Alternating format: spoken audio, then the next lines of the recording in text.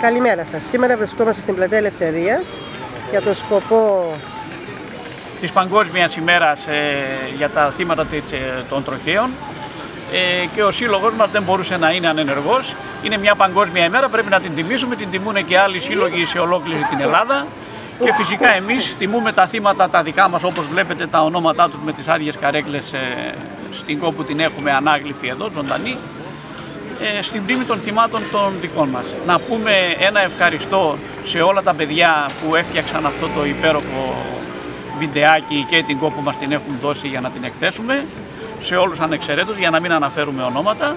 Τους ευχαριστούμε θερμά. Τι μπορεί να φταίει σε ένα ατύχημα; Σε ένα ατύχημα φταίει κυρίως η απροσεξία των οδηγών. Έχω πει και έχω ξαναπεί ότι αυτό είναι τρόπος ζωής. Δεν υπάρχουν κακοί οδηγοί στην Ελλάδα. Υπάρχουν κακομαθημένοι πολίτες που πήραν δίπλωμα και δεν σέβονται τον εαυτό τους και φυσικά δεν σέβονται τους άλλους. Αυτό φταίει. Αυτό πιστεύετε ότι φταίει, γιατί και εγώ είμαι παιδί από ατύχημα. Δεν θέλω να πιστέψω ότι ο κύριος που με χτύπησε τότε πριν 30 χρόνια ήταν από αμέλεια ή ήταν Κανένας, κανένας δεν ξεκινάει από το σπίτι του για να σκοτώσει κάποιον. Μπράβο, το λέω και εγώ πάντα αυτό. Ναι, για όλα αυτά φταίει η απροσεξία. Φταίει ο κακός τρόπος, η ανοησία με τον οποίο οδηγούμε. Μας Αυτό λέ, φταίει. Μας λένε ότι δεν υπάρχει αστυνόμευση. Μα είναι αρκετές φορές στο δρόμο η αστυνόμευση και προειδοποιεί τον κόσμο και δίνει οδηγίες.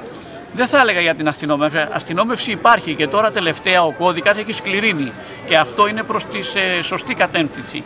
Εάν, α, εάν, εάν αυτό εμείς μέσα από όλα αυτά, αν αλλάξουμε την νοοτροπία μας λίγο ο καθένας και προστατεύσει τον εαυτό του και φυσικά τους άλλους, τότε θα έχουμε πετύχει. Είναι μια κακή νοοτροπία, είναι ένα κακό παρελθόν που το κουβαλάμε χρόνια. Δεν δε φεύγει αυτό εύκολα. Γι' αυτό ποθούμε να μπούμε στα σχολεία, να διδάξουμε τα παιδιά με ήχο και εικόνα, έτσι ώστε να αρχίσει σταδιακά να αλλάζει αυτό το πράγμα. Αυτό θέλει χρόνο για να γίνει. Δεν γίνεται από τη μια μέρα στην άλλη. Δηλαδή, από τη Δευτέρα στην Τρίτη, μην περιμένεις θεαματικά αποτελέσματα. Σε ένα βάθος χρόνου όμως, μια πενταετίας, σίγουρα κάποια πράγματα θα έχουν αλλάξει τον τόπο μας. Γιατί να πούμε στους οδηγούς, όταν δεν αισθάνονται καλά, μην πιάνουν το τιμόνι και, όταν... και να προσέχουν δηλαδή. Κοιτάξτε, υπάρχουν κάποιοι οδηγοί, ας πούμε, το ταξίδι που αναφέρεται η ΚΟΣ, που ξεκινάνε από την Κόγια να πάνε στην Κέφαλο και τρέχουν με 140-150 χιλιόμετρα. Τι θα κερδίσουν, 6 λεπτά. Για 6 λεπτά αυτός ο οδηγός βρίσκεται παρέα με το χάρο. Ο οδηγός δεν τον βλέπει. Ο χάρος είναι δίπλα του. Τι περιμένει, το λάθος, την παρατημονιά, την απροσεξία για να τον πάρει μαζί του. Α προσέχουν λοιπόν αυτοί που πάνε κέφαλο για 6 λεπτά. Δεν χρειάζεται να τρέχουμε 150 χιλιόμετρα. Για ένα σύγχρονο καλό αυτοκίνητο τα 100 χιλιόμετρα είναι εντάξει. Α αργήσει 6 λεπτά να πάει, αλλά θα πάει με σιγουριά.